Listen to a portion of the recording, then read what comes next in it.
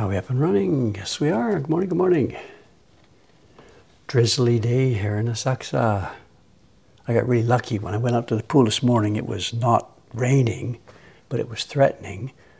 And when I came back just about 10 minutes ago, it was actually raining, so I had to jog back. Got my hair still a bit wet.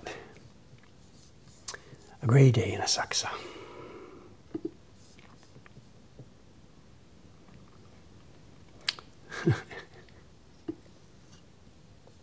morning, morning.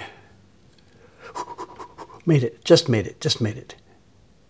I stayed too long at the pool today. No, I didn't stay too long in the pool, I stayed too long in the bath. Uh, because of the holiday last week, I was off four days one week and then four days the next week. I can't go to the pool on a national holiday. So I only got two days there last week, Wednesday, Thursday. And then when I went back this week, Monday was a holiday. Went back Tuesday, Wednesday, today Thursday. But Tuesday and Wednesday, the pool, not pool, the the uh, uh, bathtub was closed for maintenance. Hang on a sec. What have we got? This is the desk camera. What does it say? There it is. Loose connection there. So so so. So the, the bathtub was closed for maintenance Tuesday and Wednesday. So one week I did get a chance to soak. And it was back this morning, so I really, really enjoyed it. I sat there in the pool, didn't go to sleep, but almost sat there in the bath sleeping. Okay, and we have a ton of stuff to do here. Still, we are chewing through the color blocks for the Patreon chibis. Still. I don't know what we did on stream the other day. I finished off the one that we must have been carving. Yes, three faces are finished. So we're going to start a new face today. We'll do a new face, do some tracing, tracing, paste it down, and get carving. but before that, we got some stuff that, that on my desk. This has already been opened. We know what's inside. It's back from Chiharu-san.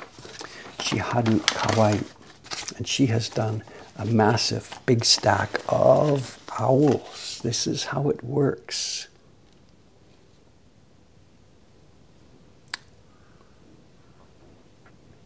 This is how it works.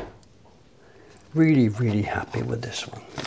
Simple image, clean. It's kind of kitschy, I know. And if all of our, our work looked like this, it wouldn't really be cool. But uh, every now and then, we're allowed a gentle, peaceful,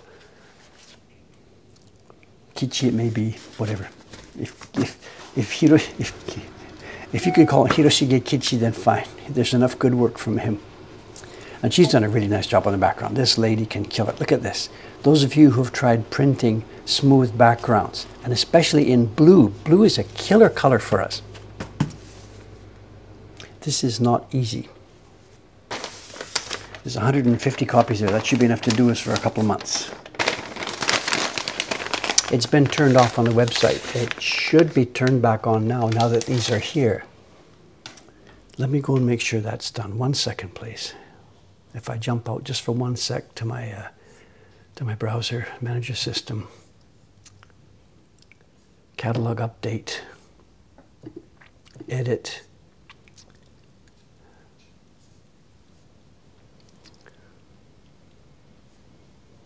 Just a sec here. Owl in Moonlight. Anybody remember what number it is? Three, 334.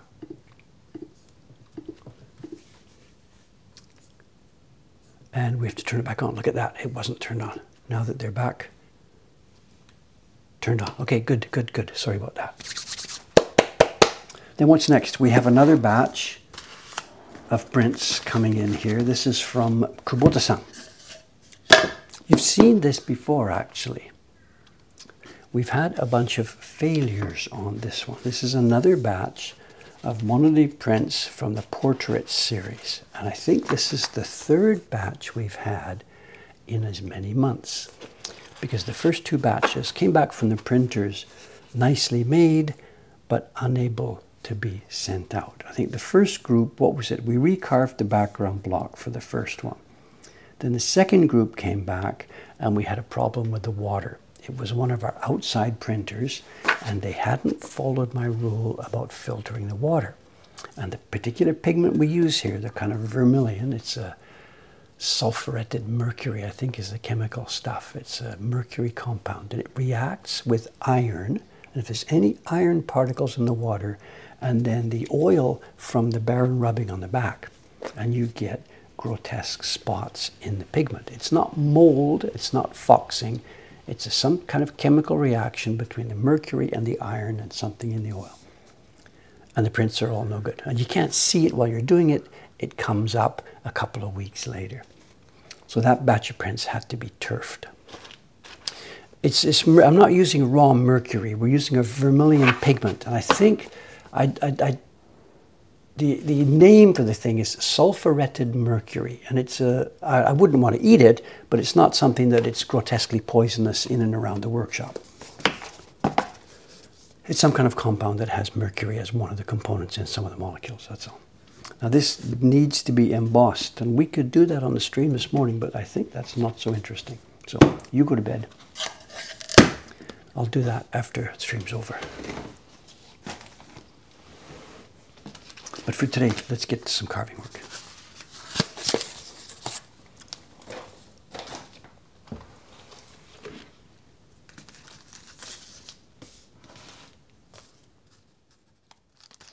Okay, now we've got another complicated one today. What we have here is we have the transfer sheet from the key block.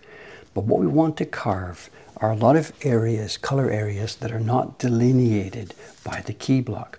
We have, for example, there's going to be some footprints here from the tanuki. There's going to be some uh, leaf shadows. We're looking down at the ground, and these branches are going to cast shadows on the ground. Now, how do we know where to carve? So I've got Jed's original Photoshop data, but those of you who have seen this before know the story. We can't just carve Photoshop data because the outlines are in the wrong place, or maybe in the wrong place. So what we're going to do here, this is perhaps going to be a bit surprising. Step one.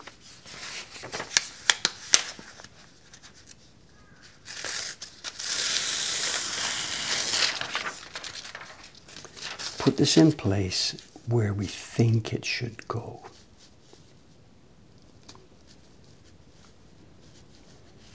And we can tell because we've got the border lines on both sheets.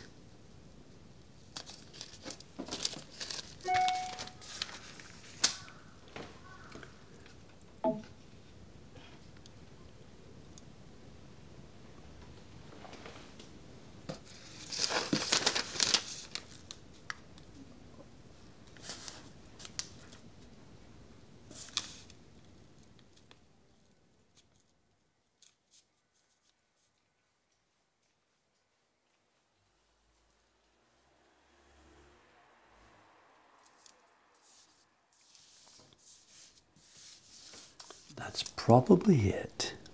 But there's always a but.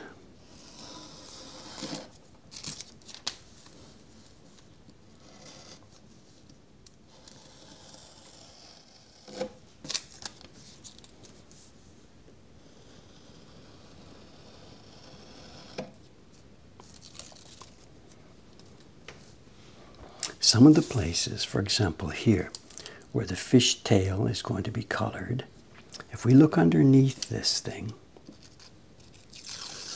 the line is here. And if we were coloring this thing, we would want to split that line exactly halfway.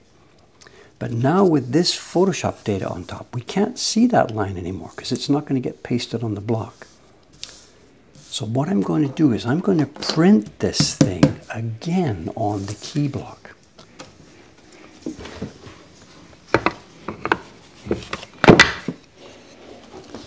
And that will then put that fishtail line in place on top of this sheet.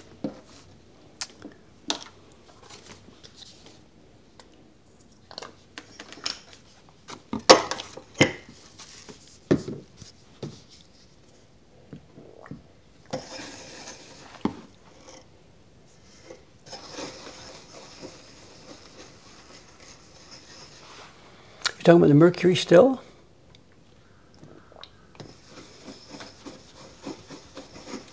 Know, Japan here these days is really strict on this kind of stuff, you know. I know some of the pigments that we get, I can't simply buy in the pigment shop.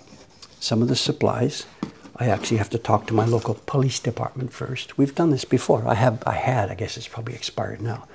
When I was in Ome, I had been to my local police department, convinced them what I was doing, and got the little slip of paper that allowed me to go to the uh, pharmacy and buy formaldehyde, and I could go to my pigment shop and buy arsenic.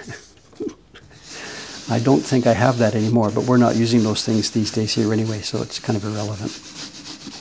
But Japan is strict about this.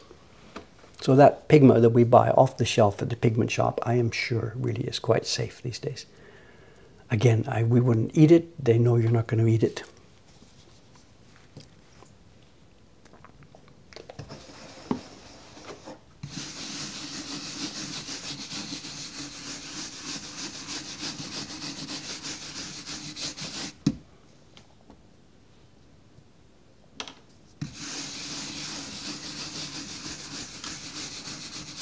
Karen's asking, are we even going to be able to see these black lines on top of this? No, we're not. But what we're going to be able to see, okay, it's so difficult to explain these things verbally like this. Again, using that tail as an example.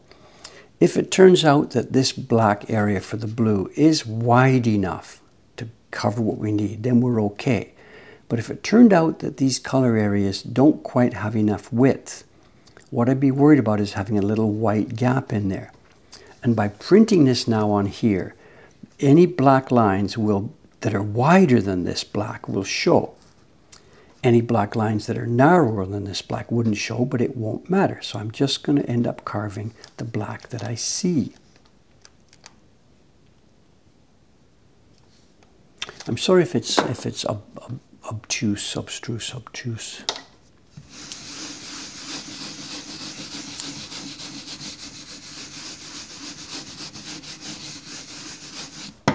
just print this thing. Do I have a Baren? No.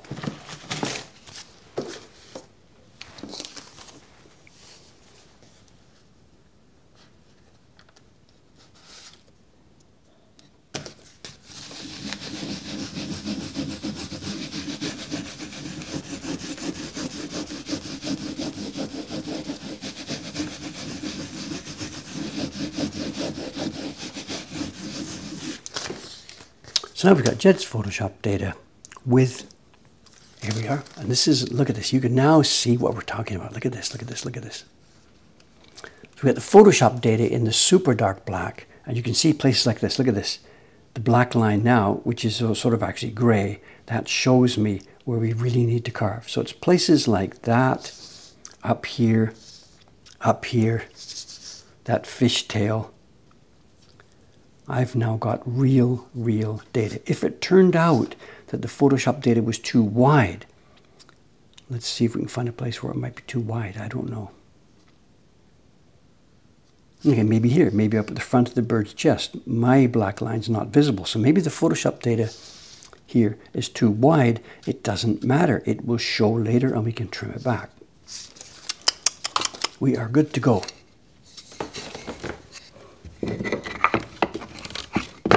New piece of wood. Let's roll.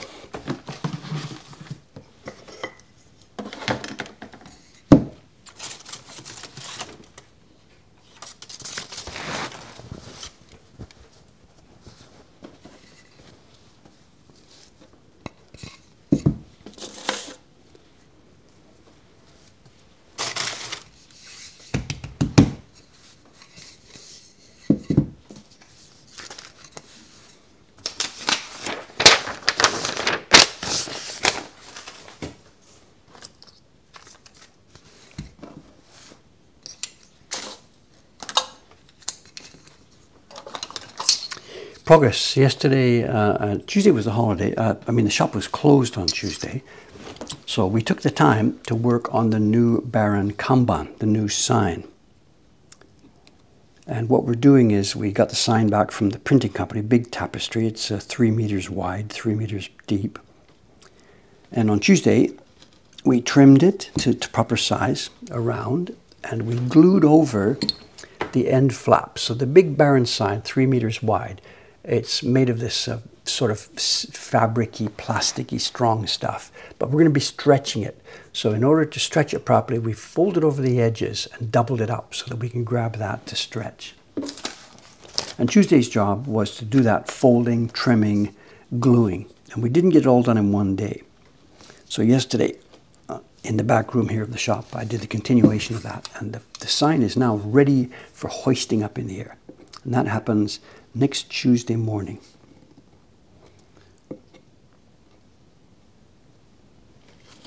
When the shop is closed.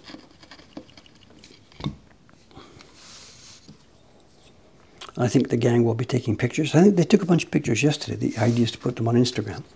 I don't think they're up there yet. Has anybody checked their Instagram? Has the have the Baren Kanban pictures gone up there? I don't know. John's asking, do we need blue jumpsuits and white hard hats? Probably technically legally, yes. We probably need two people.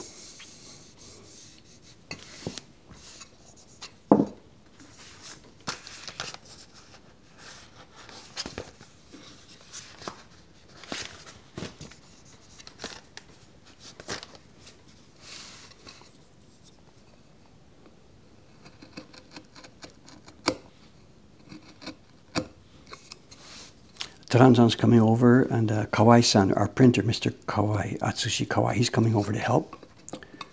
So what we're going to do is we're going to uh, lower it down. We'll, we'll rope up the current sign up there.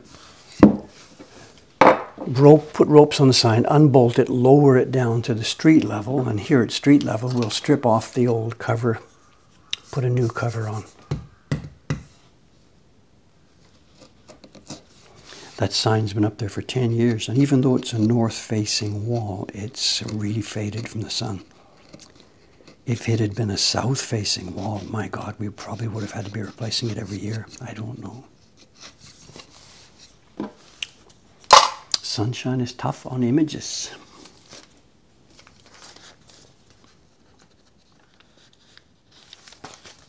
Now we're going to get a peel here because what we've done is I've overlaid something completely on top of the whole thing so we'll be pulling off the backing sheet altogether.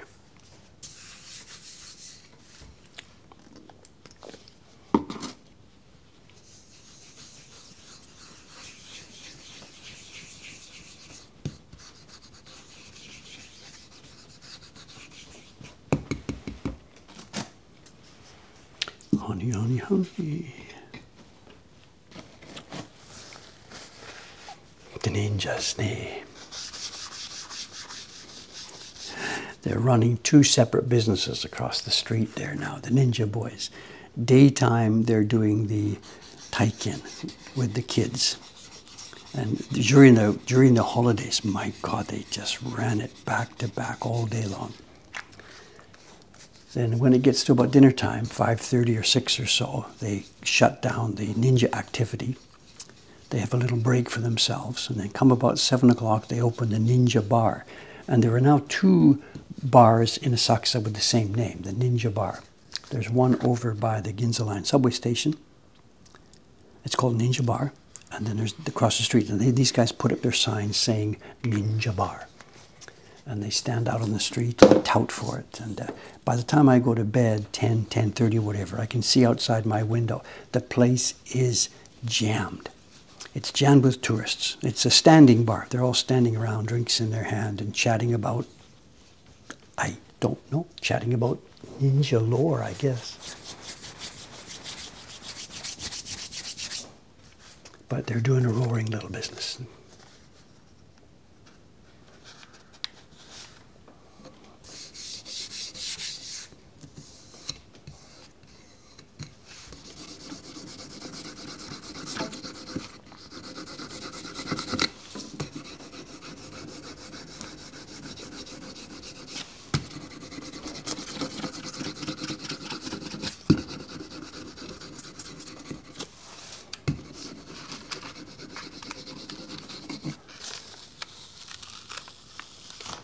So what's come off? That's the yellow paper and the original transfer sheet. The only reason we needed that transfer sheet was so that I know where to land the Photoshop data in relation to the corner. And now what we've got on the board here is just the Photoshop data sheet with lines printed on top of it to give me a good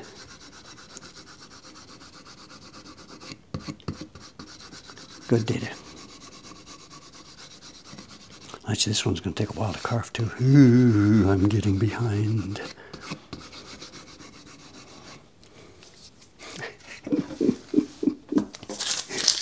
the shop yesterday, yesterday morning. so many fun fans yesterday morning.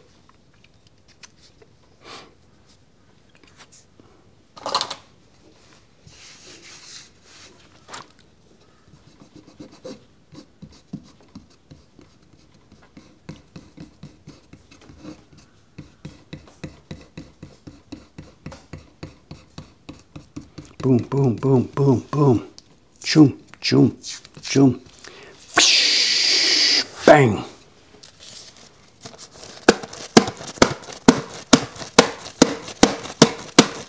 I can't break it. It's a ripped off piece of wet gumpy paper. And I I'm not faking this. I mean, you can see what I'm doing. This stuff is insane. Absolutely, completely insane. It's damp. I just peeled it off. It's not even a full sheet of paper, and I cannot break it. It's insane. Absolutely insane.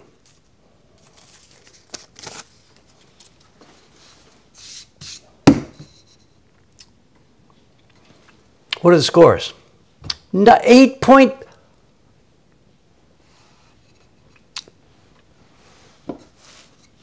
comment. No comment.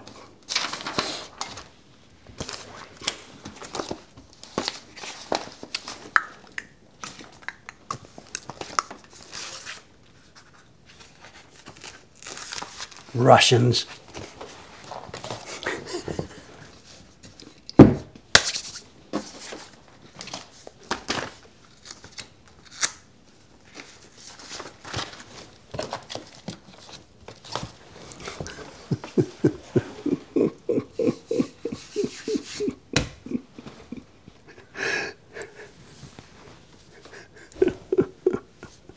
For the next Mokuhankan update, please include a spreadsheet of my peel scores. No, why would I advertise this stuff?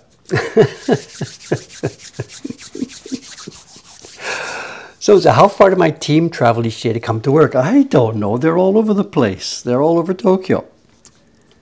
The longest, farthest one would be Teiko-san. The, the lady works in the shop here. She comes from Kawagoe.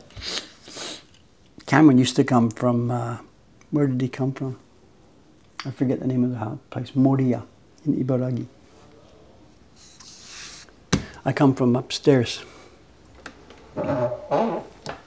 I know typical Tokyo commuting times, no idea. People live all over Tokyo. I don't know, I'm sorry. Um, we have the data actually because here in Japan, different from many, many other places around the world, the employer here, at least in, in a modern place like we are here, the, the employers pay all the commuting costs for their employees. This is not something Dave is, is giving his staff as a special deal. This is norm, the norm in Japan. The employer pays the staff's commuting costs, train, etc., train, bus, whatever.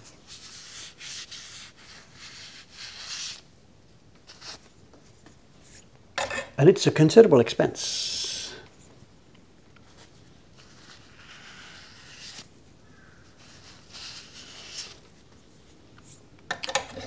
And they don't pay taxes on it. It's a separate benefit that is not included in the amount of money we calculate their tax deductions on. I have no idea when it started, post-war, I have no idea. So it's different for each employee. And now and then there's a touch of employee envy on this. Uh, there was an employee, mm, whatever, some years back. She's actually no longer with us for other reasons, but uh, and she drove, or she came by to work by bicycle in Ome. And one of the other ladies came by bus. So the bus lady was getting her bus fee compensated by Mokuhankan, as is the norm and probably the law, I don't know. And she wasn't getting anything because she came by bicycle. And she asked to be supplemented to the same amount that her co-worker was getting for, for bus. And I said, no, that's not the way it works. And she was kind of cheesed off at me, but whatever. You don't pay everybody in your company the allowance that is determined by the highest person. The convoy doesn't run at the speed of the fastest ship. And some companies now, it's this is actually a thing in tech and whatever. They're paying Shinkansen. Some of their employees would live out closer in the country and maybe do semi-telework, come into the office X days a week by Shinkansen, and the company will pay their Shinkansen fees. This happens.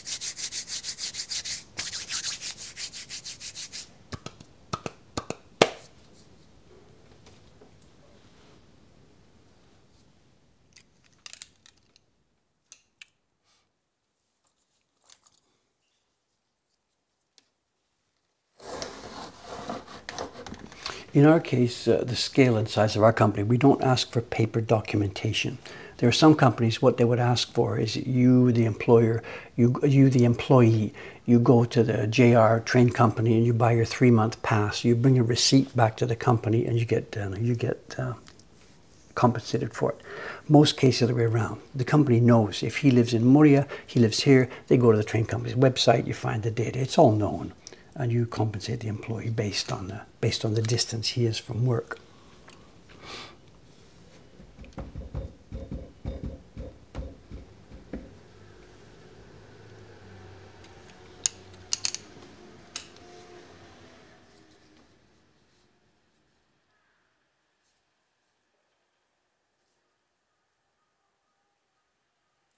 Now the downside on what we've done right here now is that it's all black. There's no uh, red color to guide me here. So I'm going to have to be careful. Could be bits and pieces of this if I don't notice. Like this one here, there's a black color on this on this fish here.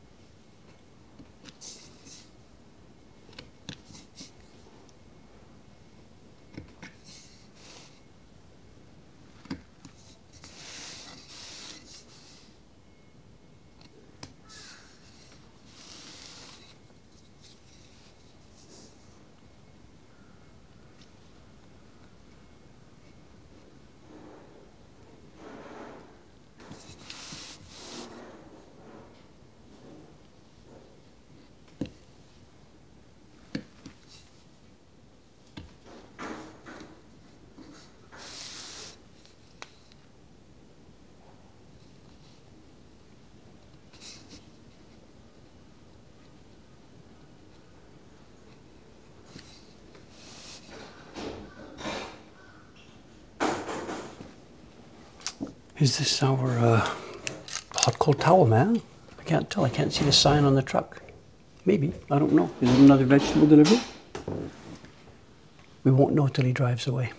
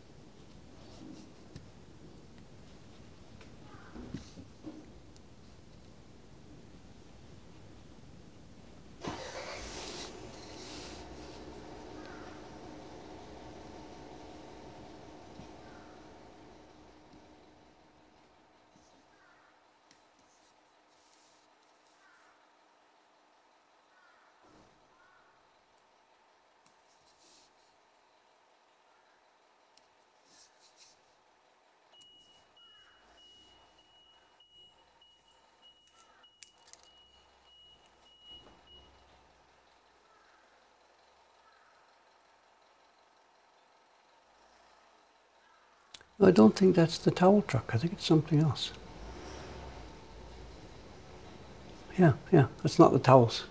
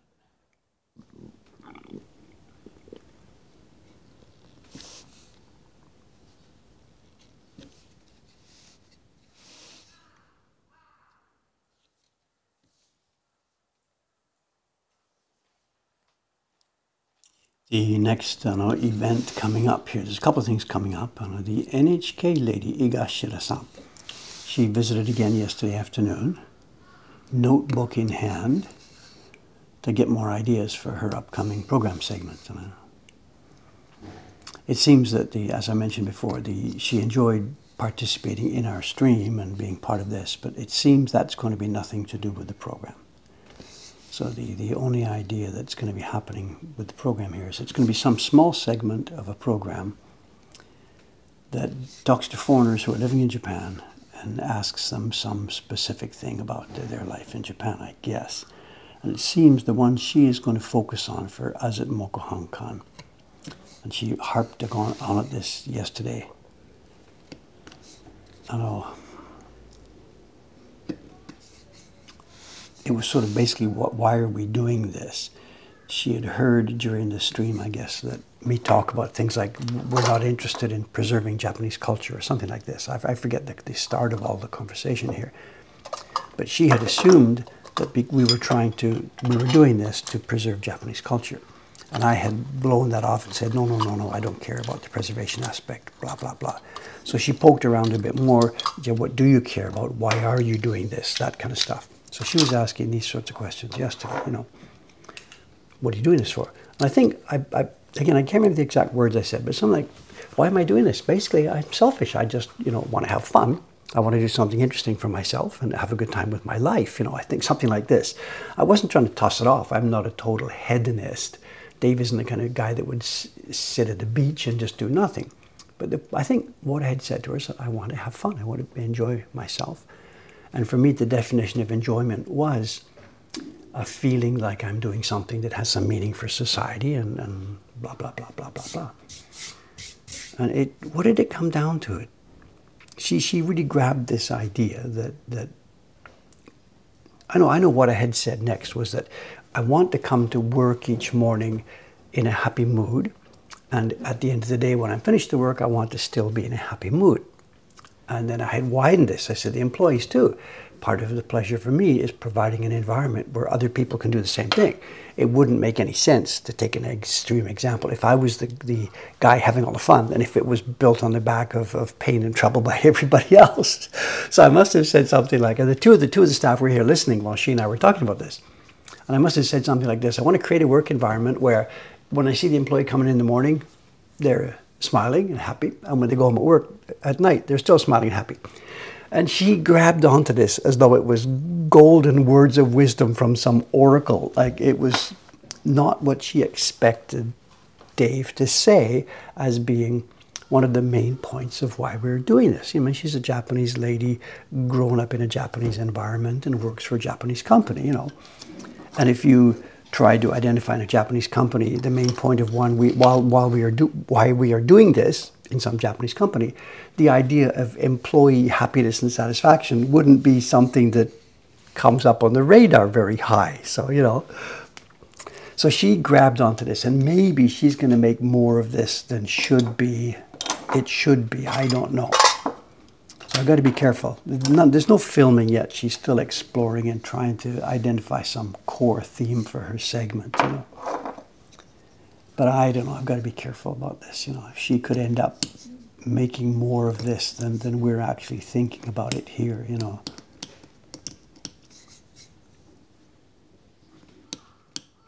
I don't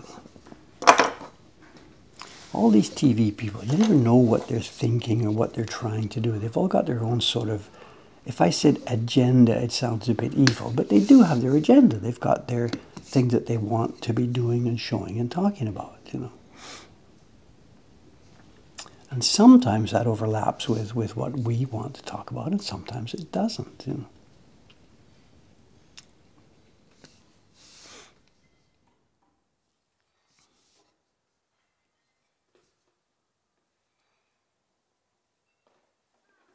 I mean, if at the end of the day, if we ended up with a program or something that depicts Mokuhankan as this employee paradise where never a, a, cloud is in the sky or nothing ever goes wrong or something like this, there'd be employees here who would just roll their eyes like, what is going on, you know.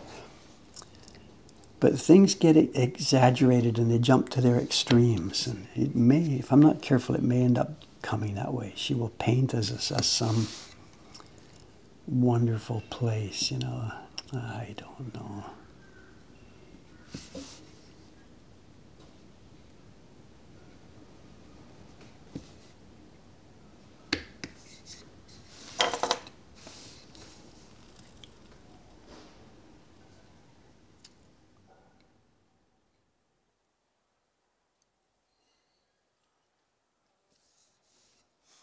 I think what she needs to do is get me out of the room, and she needs to talk to a bunch of the employees, you know, with Dave out of the way. So you know, tell me the real story. What's it really like working here?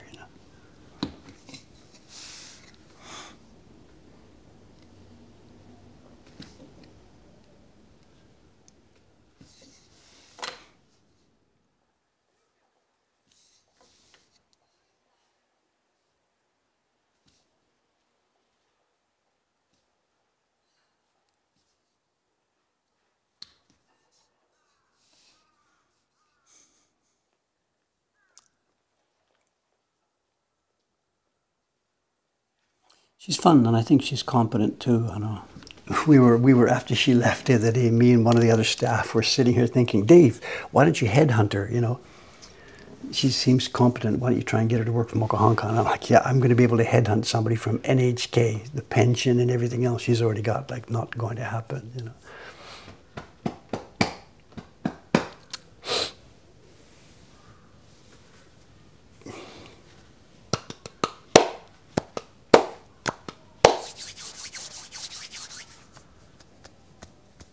We know pronunciation.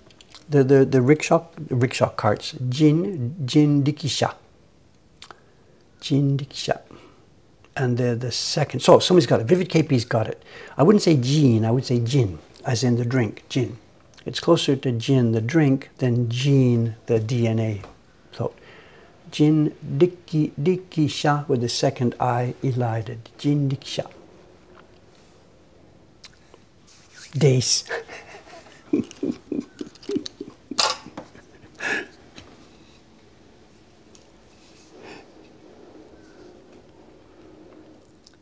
I've been I've been signing off emails recently with my name a bit distorted. The, the I've got this sticky cover on my um, on my laptop, and some of the keys don't come out clearly sometimes. So I've been signing my name as Dae D A E. The V doesn't come through a couple of times, and that's a Korean name, Dae. So I guess uh, I'm looking Korean to some of the people I send emails to. D A E Dae Mokuhankan.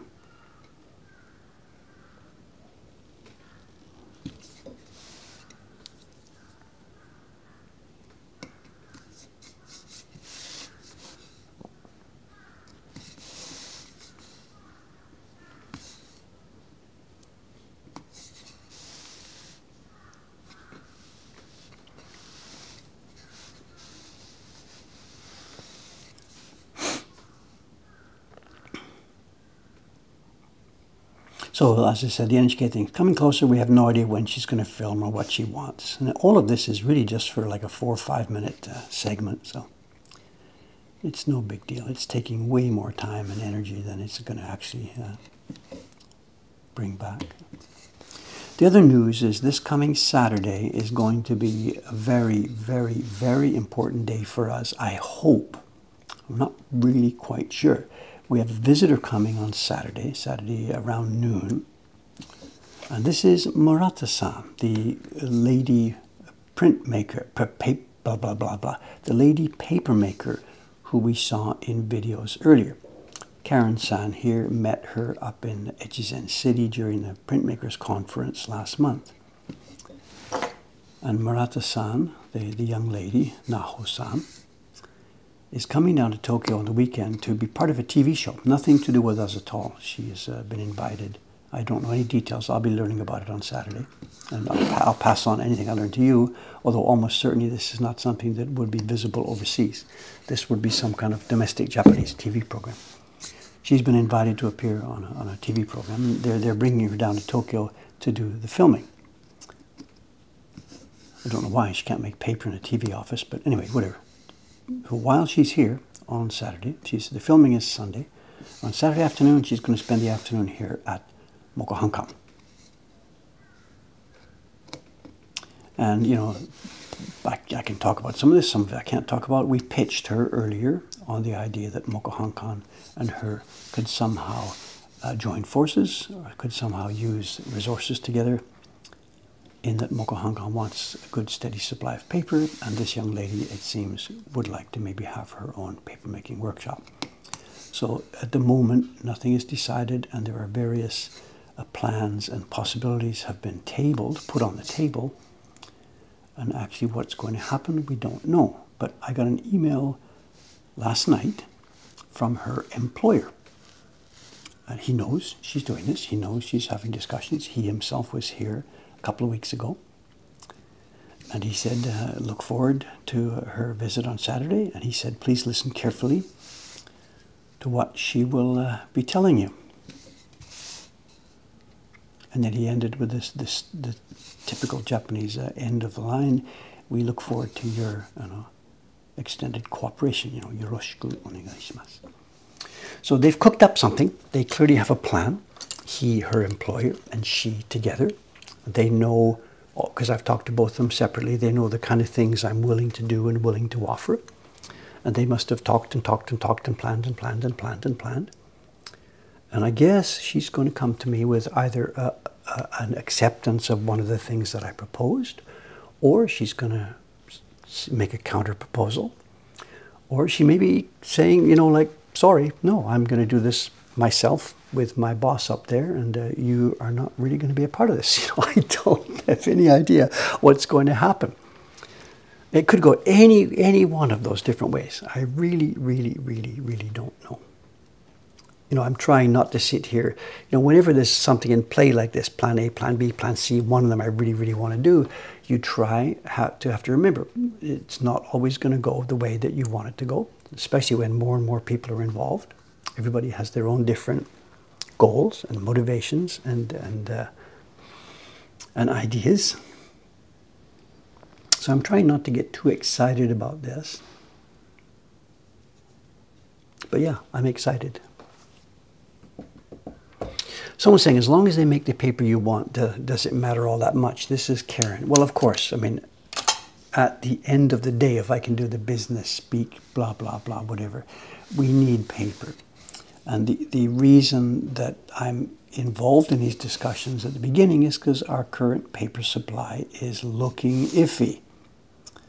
And if, as part of these discussions, a good, strong paper supply comes into being, then yeah, I can't lose. And whether or not I'm part of it, if I'm, if I'm not actually going to be part of it, that's okay, as long as there is a good, steady, strong paper supply. So in that sense, it's no big deal.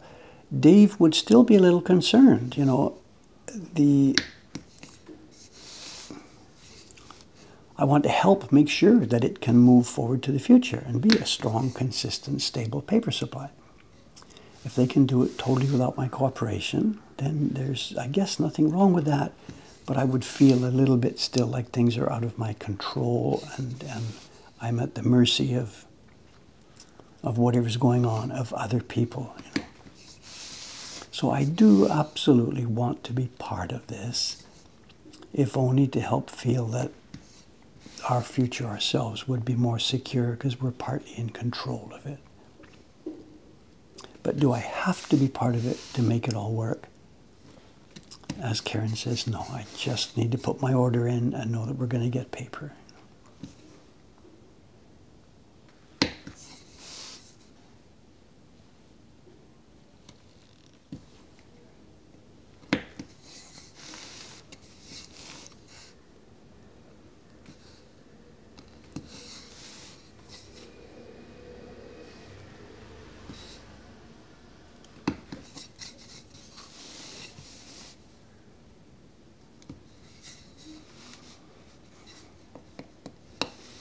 that's that part done. Move on to the next one.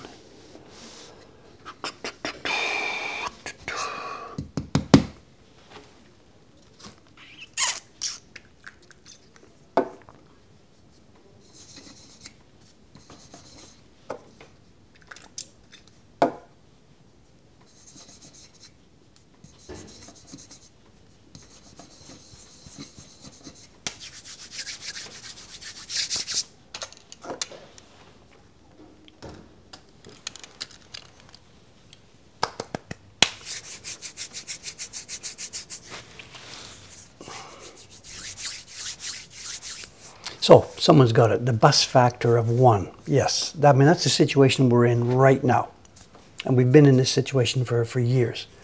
Bus factor is one. We have to increase that number. In the old days, it was massive. There was no bus factor. Once it gets large, you don't even talk about a bus factor anymore. Bus factor only comes into meaning when it's when it's one. That's when the concept comes into uh, comes into being.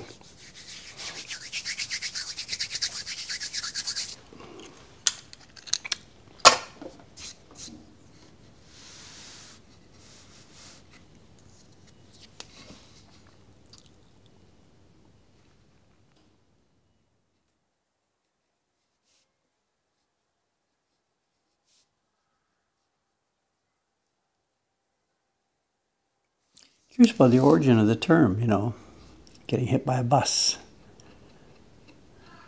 Where would that have orig originated? I don't know.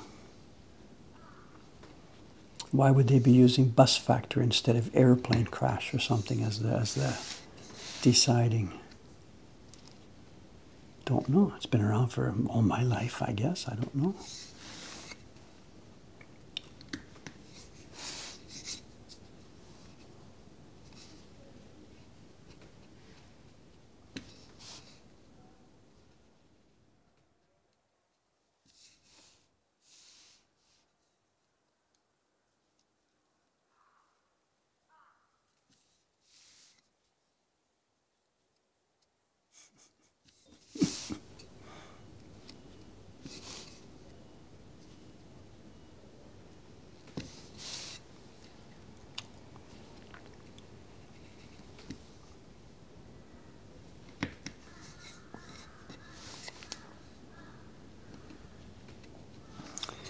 The there today. They hit my garbage on a, was it Tuesday morning? We put our garbage out Monday night.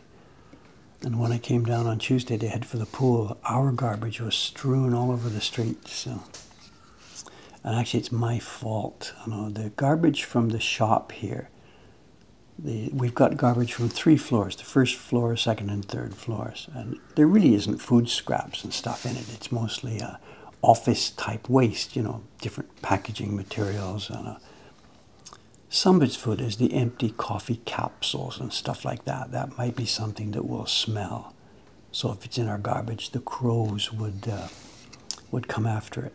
But on Tuesday, it was absolutely my fault because I had my, in my own room, I had some empty 7-Eleven stuff. I'd had dinner from from the convenience store the past couple of nights before that and I had the empty 7-Eleven, you know, uh, trays and stuff like that. So I tossed them into the garbage without thinking too much about it, and they must have been near the top of the garbage.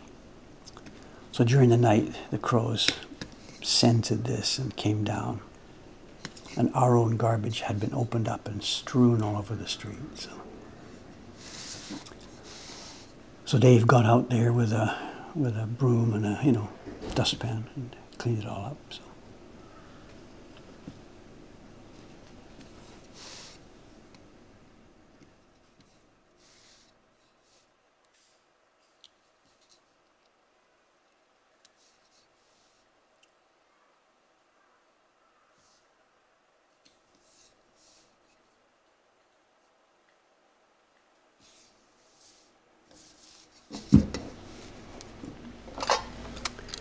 Do, do, do, do,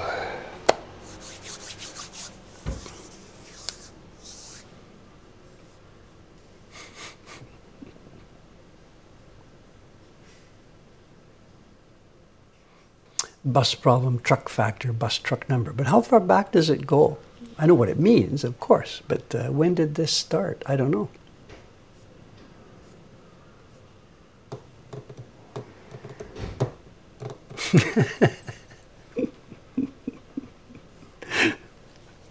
So I remember that too. Wear clean underwear in case you get hit by a bus. I remember that. My God, did people actually used to say that?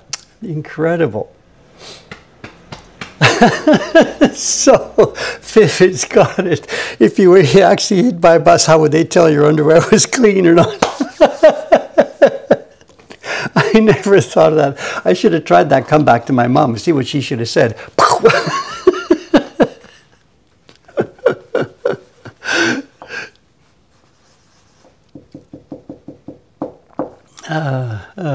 It was a tiger factor back in the old days.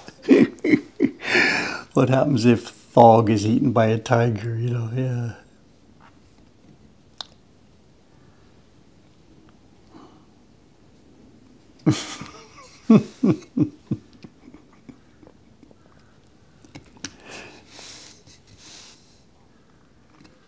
Not to be confused with getting thrown under a bus. That's a different bus factor.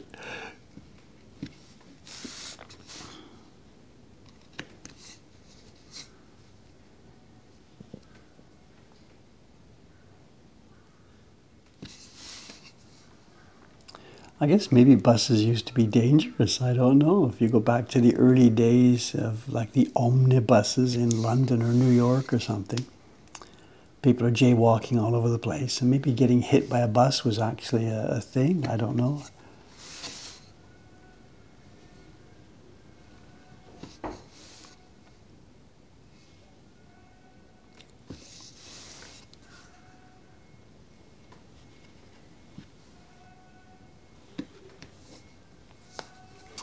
These are construction noises, the people you hear yelling outside. It's uh, around the back street. If you came out of Mokuhankan, headed left, turned left at the next corner, and went down the short blocks to the arcade there. You go past the Taito Station Game Center.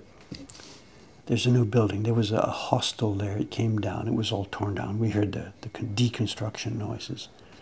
And now something's going up. I think it's a hotel.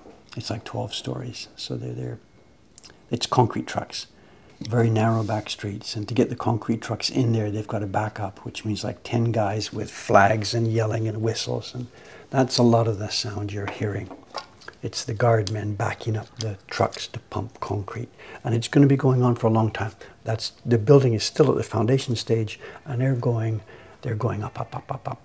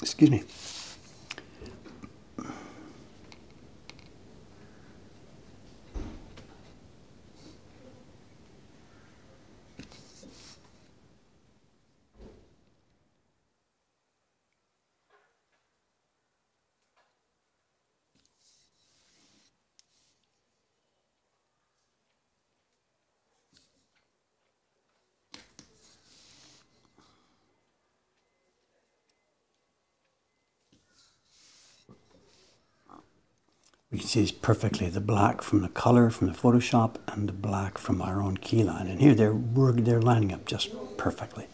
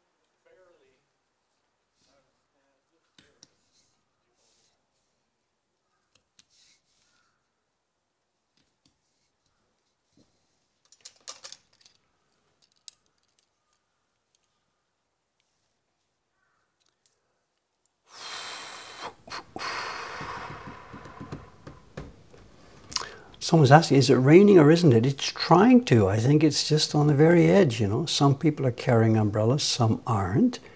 I don't see any water bouncing on the street. Do we?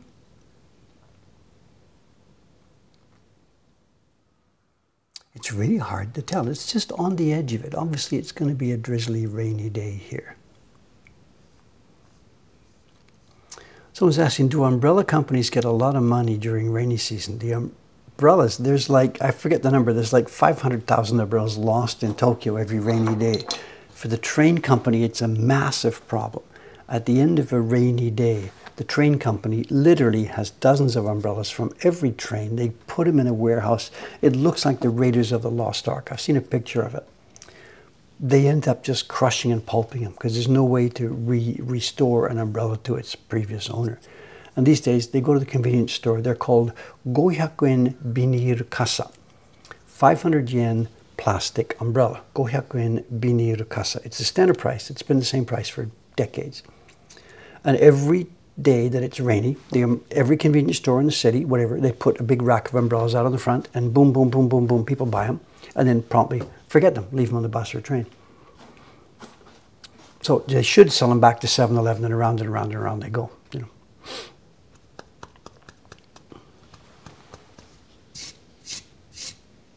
It's a plague for the train companies, absolute plague.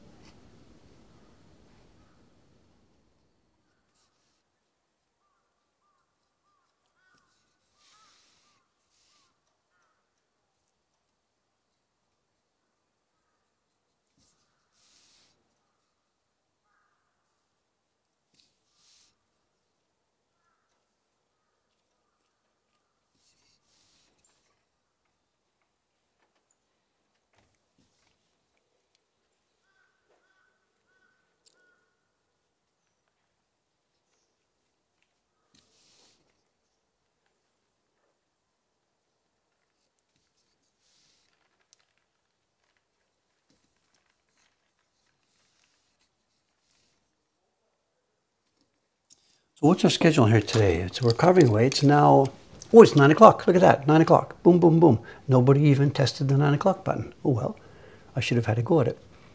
And show and tell. What have we got for show and tell? There is a package near my floor here. I don't know what's inside it. It's been sitting there a while. So we do have a show and tell. I, I doubt it's going to be all that ex ex uh, exciting. What else do I have?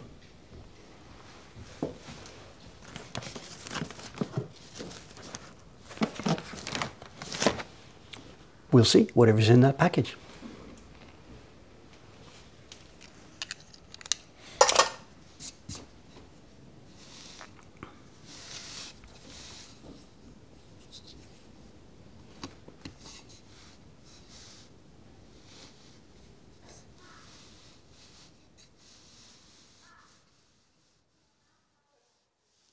Well, that's the top half all scribed out, I think. I think I've got it all.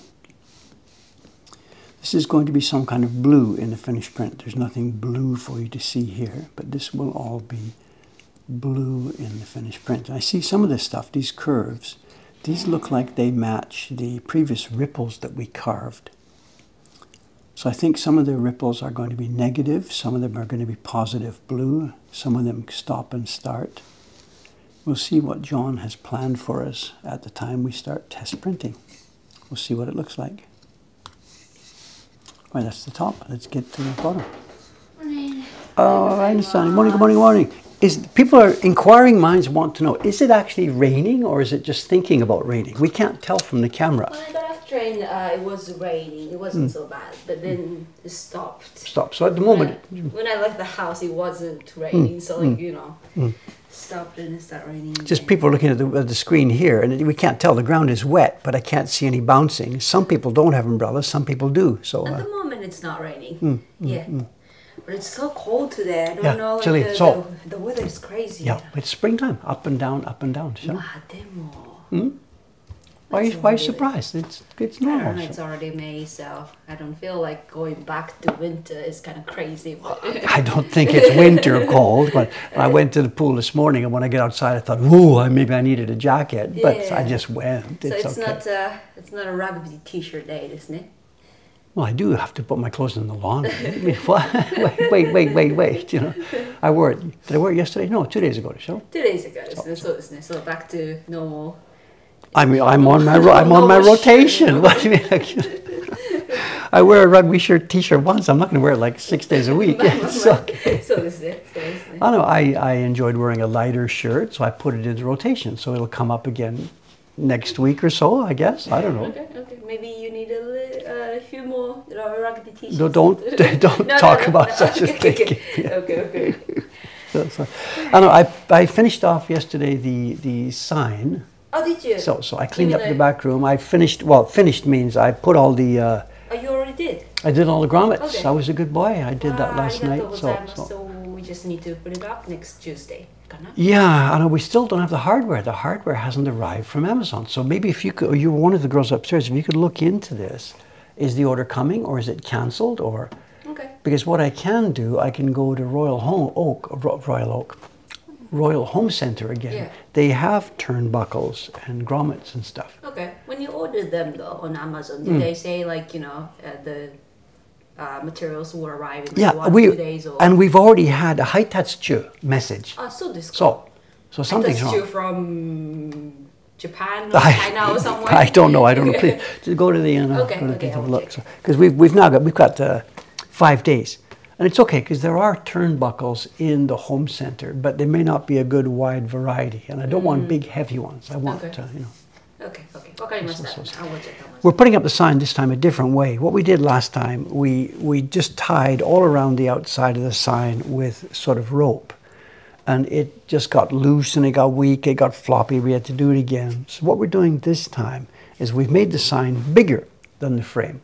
We're going to roll it around the frame and I put grommets on the back and we're going to put wire between opposing grommets with a turnbuckle in it and eight of those. So there will be eight turnbuckles around the shape of the sign. I may be asking for trouble. It may be something we will have to keep going and adjusting them over the years. I don't know. But uh, ma, ma, experiment isn't we'll see how it goes.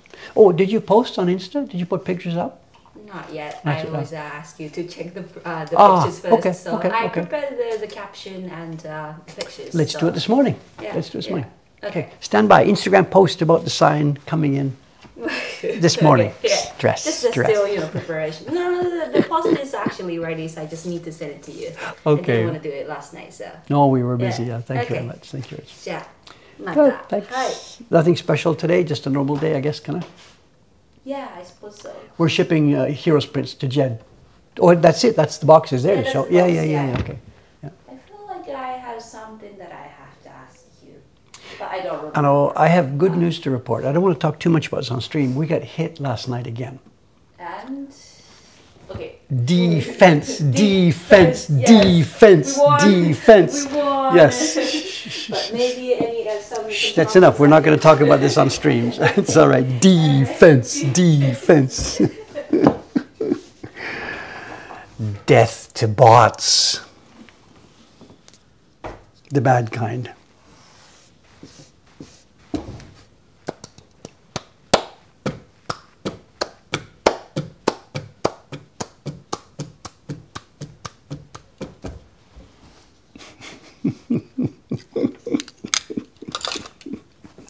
Robots. Oh. They're mostly so stupid and so dumb, but whatever.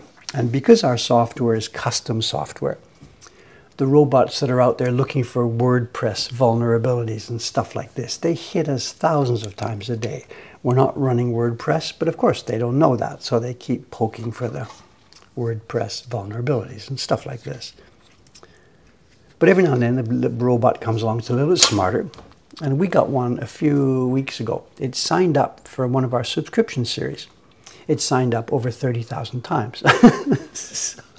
because our, our, our uh, you know, website accepts subscriptions. You know, it doesn't check, did you subscribe to this series uh, 10 milliseconds earlier. It wasn't checking that sort of thing, you know.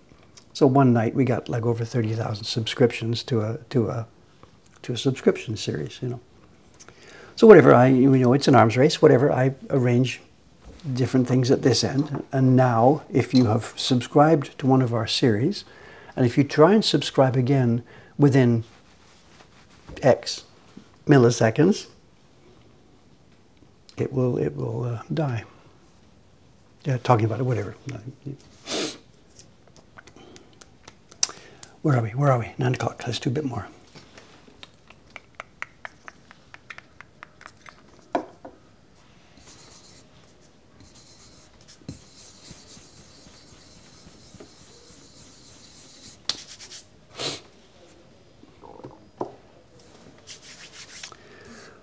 Tanuki feet.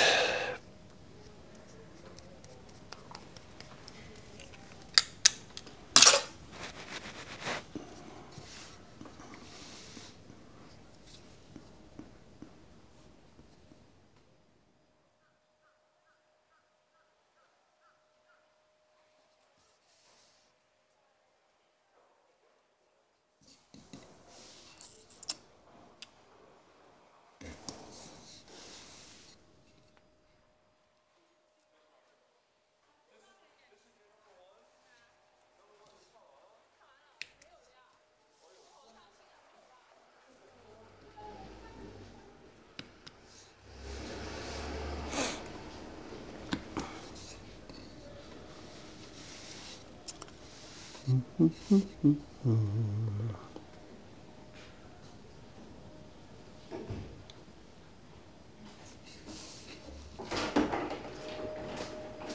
おお trouble tonight this time. Not too soon.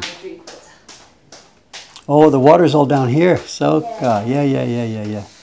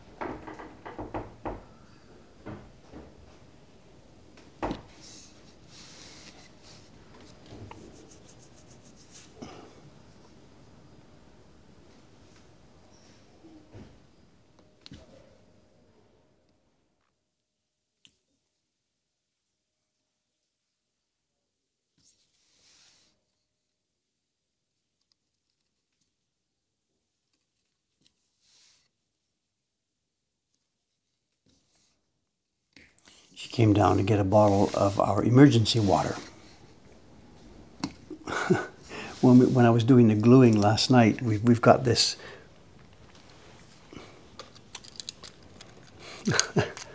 Did she step on the cable?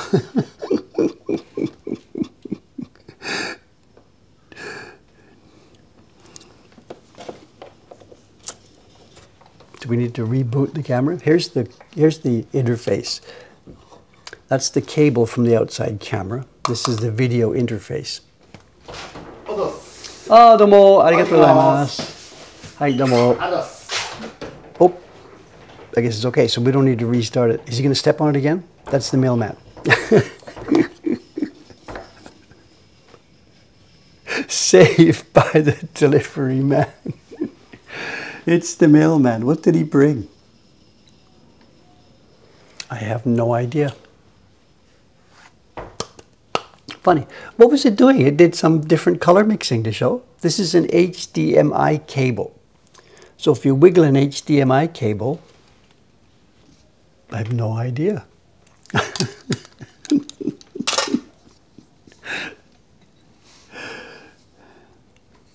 the the water. She came down to get a, a, bottle of water. I know. As part of the earthquake preparation here, we keep food and stuff and water, and we've got camping stoves and things like that, and helmets and you know stuff for the the earthquake preparation. But you can't uh, just leave the food sitting here and the water. So what we do is, uh, she she wanted to get water for the to feed the coffee machine upstairs. So we use our earthquake water supply, and we take it's first in, first out, first in, first out. So we've all, we keep way more water than we use in any given time, and we rotate it, of course. So normally this water sits in different places. We've got a bunch of this water supply in the back of the first floor, and a bunch of the water supply on the second floor, and we actually keep some more up on the roof because we never know what part of the building might be damaged or what part might get destroyed or whatever. We're trying to be sensible with the earthquake preparation stuff. Anyway, part of my work last night gluing this sign, I've got the big round sign, chop, chop, chop, folded over and glued with epoxy glue, and I needed weights to hold it down. I couldn't clamp this thing. It's a three meter wide thing sitting on the floor.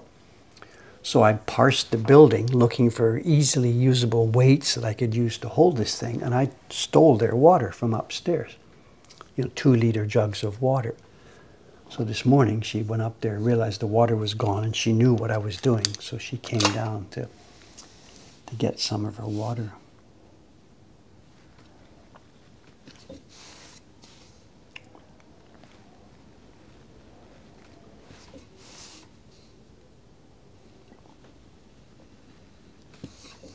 In a major earthquake, of course, the, the water supply is one of the first thing that gets clobbered. The pipes, a lot of the pipes are old.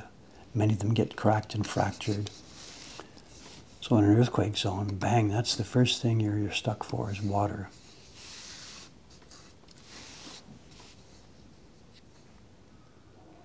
So we keep, I don't know what they've got. They've got maybe 100 liters or something. I don't know how much they've got.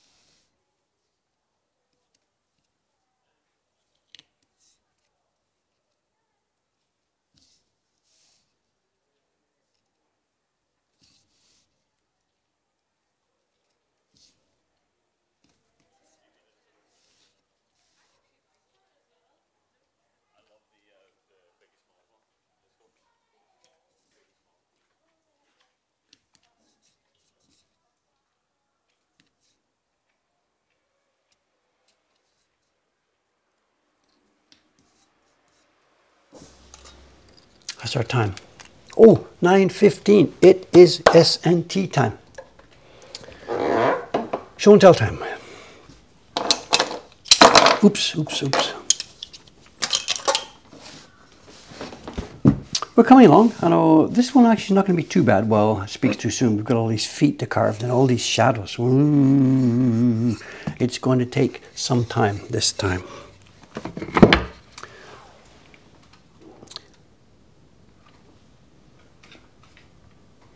Okay, we have for tell, we have a package, the contents of which I do not know, and we've also got something the mailman just brought. Let me go over there and see what he brought.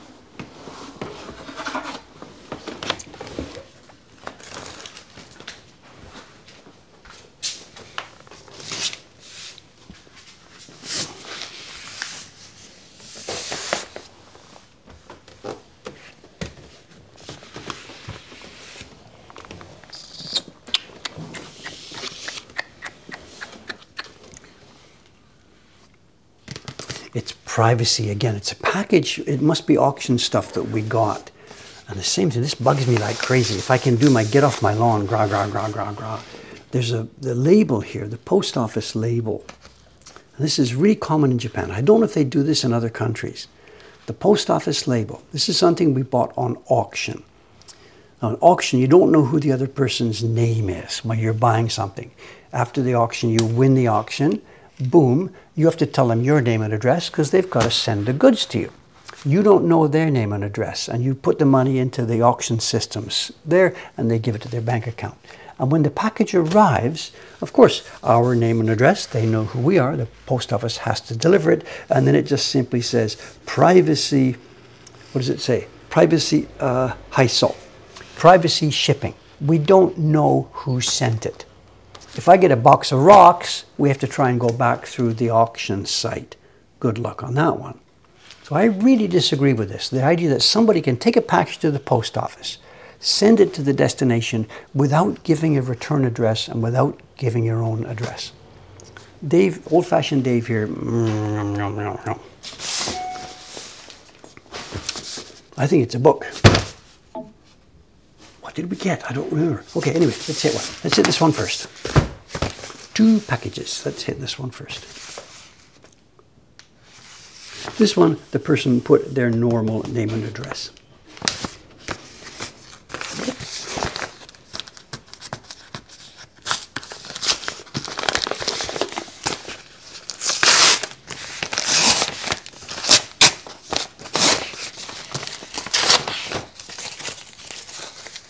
Someone says, How do you return stuff? We wouldn't be able to return it. This is auction goods we bought. We bid on an auction, we won it, and here it is, and there's no returns.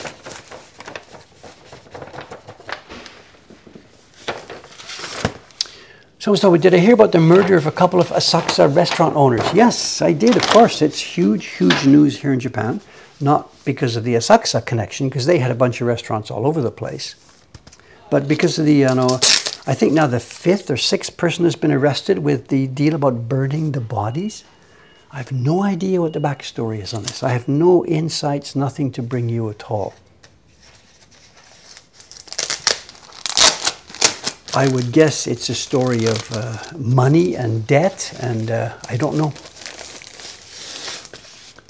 If you look it up, there, there's some bodies were discovered in a burned condition up in the mountains.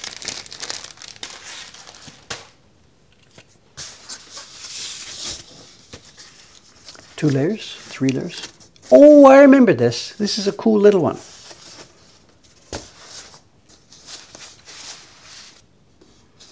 I remember this.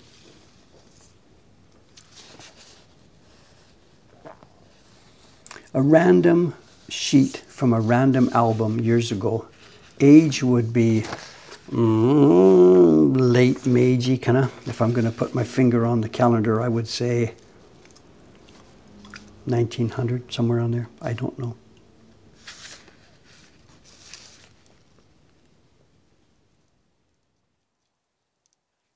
Something I can read. I know it means old and now. I know uh, old days and new days uh, picture book. I know. I think this is Tek Kagami. It's a, I think this is a character a mirror, and it means it would be an album of pictures and it would be a mirror of images that show old and new, old and new mixed together. and some of these I haven't a clue what we're looking at, calligraphy that I cannot read here, and some kind of bamboo picture done with a vermilion. We were talking about vermilion earlier. This is a vermilion pigment that is hugely, uh, I'm not sure if the word is oxidized, it might be reduction, I don't know. There's been a chemical reaction between the uh, pigment and the air, oxygen, I guess. And what used to be uh, a brick red color has now become this color. And then we have, of course, this picture. Look at this. Long term friends and fans of ours know what this is.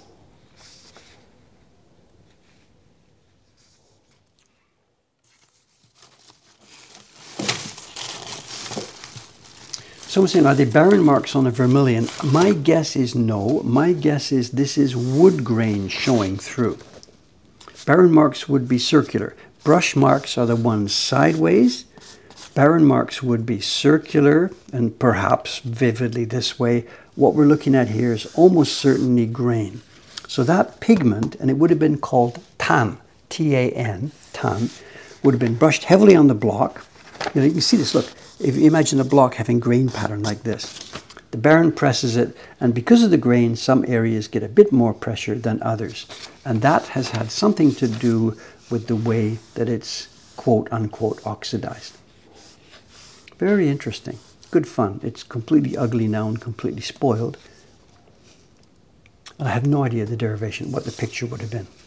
This one is why I bought this auction item. Because, because, because. Somebody's already linked to it. We have in our catalog. Where is it?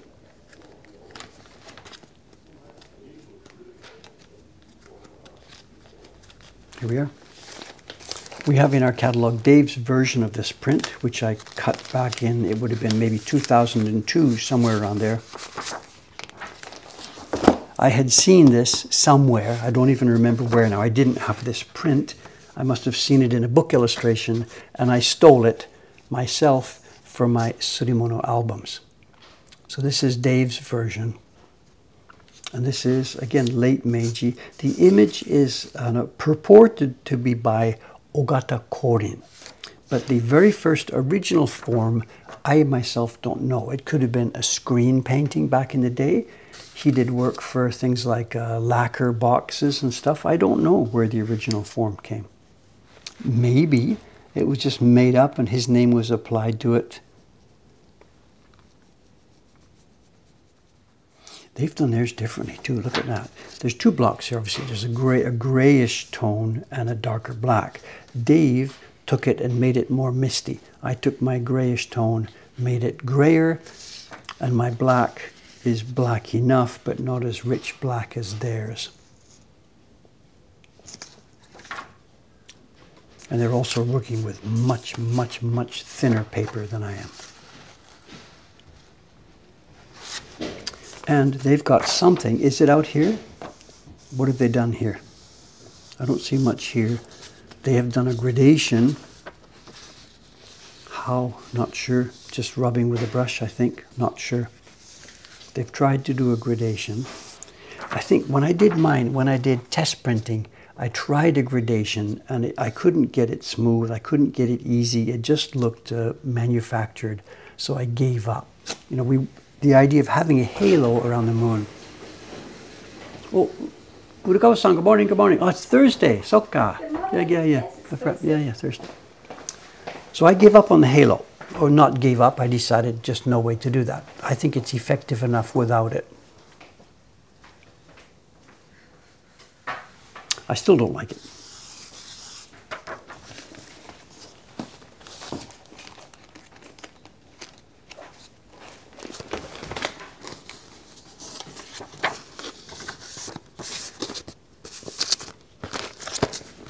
Okay, nice, cool. It'll go into our collection. This is not for sale in the shop. This will be part of our collection. And for me, it's a nice remembrance of the image that provided the data source for one of my own reproduction prints.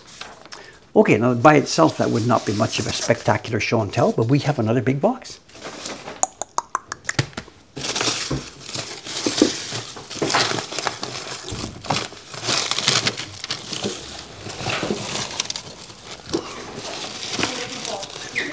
I'm looking for a knife. I can't. Oh, I, I got it. I got it. It's okay. I got it. My kingdom for a knife. Who's here? Ken-san. Morning.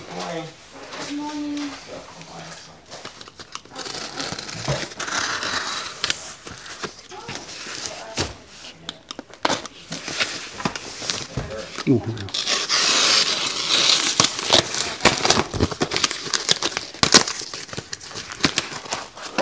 Oh, I know what this is.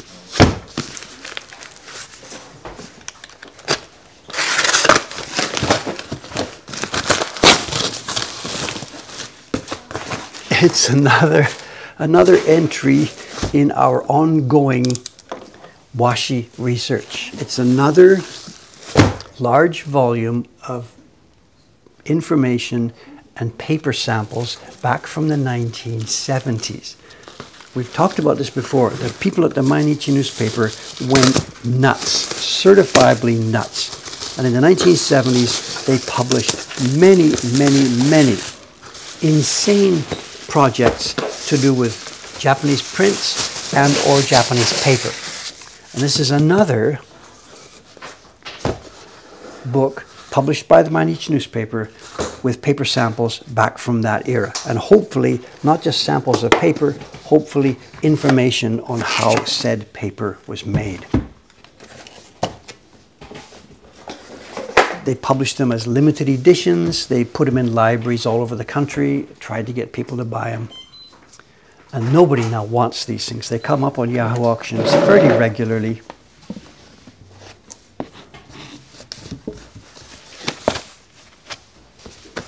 Let's have a look and see what's inside this one.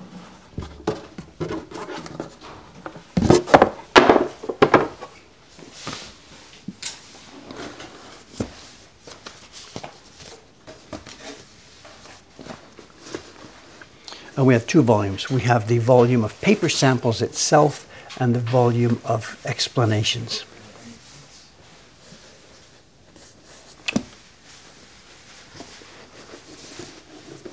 It's never been opened. Look at this. It's absolutely perfect condition. The spine isn't broken. It's never been freaking opened. People would have collected such thing or it ended in a library somewhere.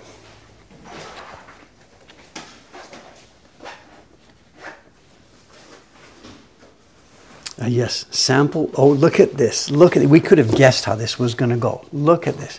It's got a list of the papers that are inside this thing. And the very first one, the very first one, it's got Kizuki Kami.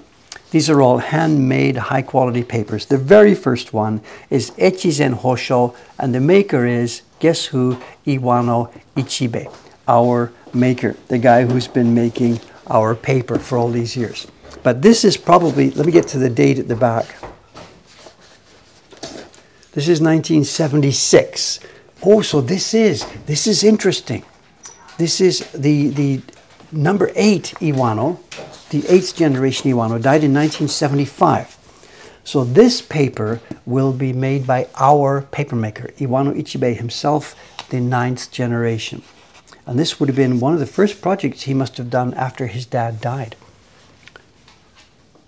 Unfortunately, the paper is not very big, not a very large sample, but there we have it. What's next? Oh, Kaga Hosho. Oh, how much story. The story goes around and around and around. The fiber, mulberry fiber we're using for this paper these days comes from what they call Nasu. It's in Ibaragi Prefecture. And before the war and in the old days, there's no way paper makers in that area would have used fiber from the other side of the country. And we are told that they used fiber from Kaga, Kaga Prefecture, which is nearby them, up on the Japan Sea coast. During the war years, when papermaking was disrupted, that field, those fields of mulberry became, and the word that's used in the Japanese research papers is extinct. Now, it turns out when you plant paper mulberry, you take a cutting from a current plant, you plant it in the proper environment and place, you cultivate it, and after three, four, five years, it starts to shoot up enough stuff that you can use.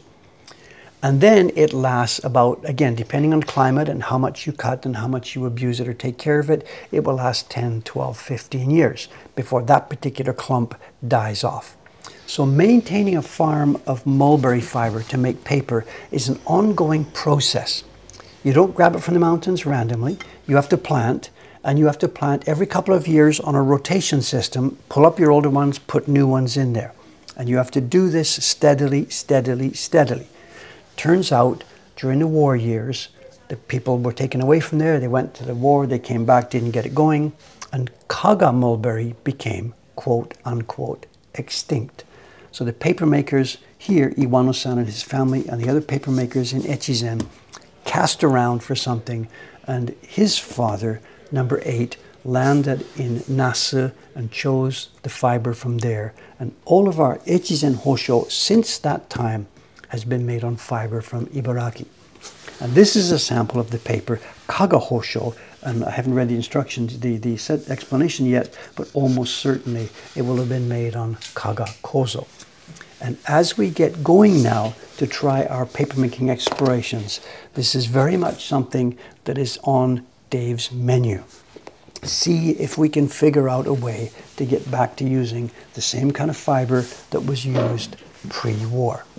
It might not be the best way to go. It might not even be a good idea. I don't know. But we are going to explore and try and learn. This is it. It's Kurodani, it's Tosa, these are all Nishinouchi. This is all the famous papers from all over Japan. It's too bad the samples are so small from Nara Prefecture, Shikoku. Look at this. Wonderful, wonderful, wonderful. This is not like top secret, unknown stuff. These types of washi are well known and understood. But for us, as a reference, this is going to be very, very useful. And the accompanying book, hopefully, will have lots of information about the making of. Yeah, look at this, full of information from the old days. This is exactly what we want. We want to try and learn as much as we can about how it was done before they got busy with trying to make it cheaper and easier and faster. We want to see how it was done when it was done slowly and carefully and perfectly.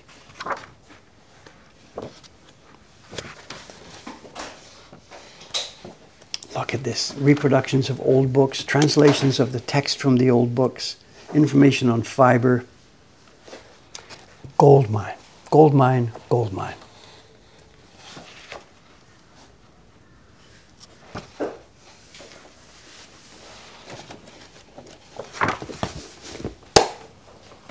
all going into our library. At some point, I guess this library is going to be an actual library. People can come in and look at books. You won't be borrowing this to take it home.